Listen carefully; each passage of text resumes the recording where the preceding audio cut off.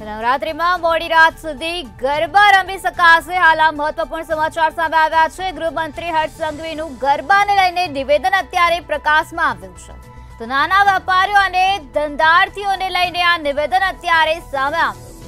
નવરાત્રીમાં મોડે સુધી લોકો ધંધા રોજગાર કરી શકશે તેવી માહિતી અત્યારે પ્રકાશમાં આવે છે.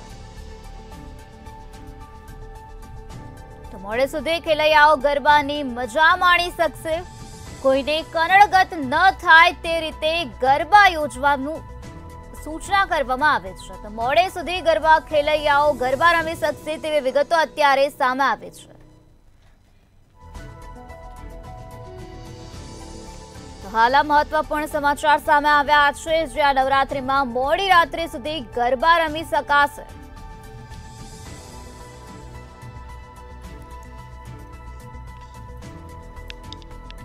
કોઈને કનડગત ન થાય તે રીતે ગરબા યોજવા માટે સૂચના આપવામાં આવે છે. મોડે સુધી ગરબા ખેલૈયાઓ, ગરબા રમી શકશે. ગરબા આયોજકોને પણ ધ્યાન રાખવા માટે અપીલ કરવામાં આવે છે. હવે થોડા દિવસો બાદ જ નવરાત્રીનો પર્વ છે. ત્યારે નવરાત્રીમાં મોડી રાત સુધી ગરબા રમી શકાશે તેવું નિવેદન અત્યારે સામે આવ્યું છે. ગૃહમંત્રી હર્ષ સંઘવીનું ગરબાને લઈને નિવેદન અત્યારે પ્રકાશમાં આવ્યું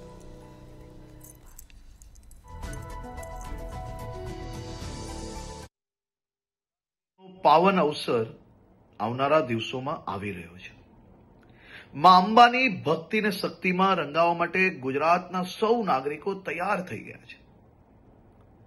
નવરાત્રીના આ પાવન અવસરે સૌ ખેલૈયાઓ દિલ મૂકીને મા અંબાની ભક્તિ અને શક્તિમાં રંગાઈ શકે, ગરબે ઘૂમી શકે તે માટે ગુજરાતના મુખ્યમંત્રી શ્રી ભૂપેન્દ્રભાઈ પટેલના માર્ગદર્શનમાં ગુજરાત સરકારે છેલ્લા અનેક વર્ષોથી નવરાત્રી મોડે સુધી રમી શકે, સાથે સાથે મોડી રાત સુધી નાના નાના વેપારીઓ, ફેરિયાઓ અને જે લોકો દરરોજ આ કામ કરીને એમનું પરિવાર ચલાવે છે, તેમનો ધંધો રોજગાર ચાલી શકે તેની બી ચિંતા કરવામાં આવતી હોય છે.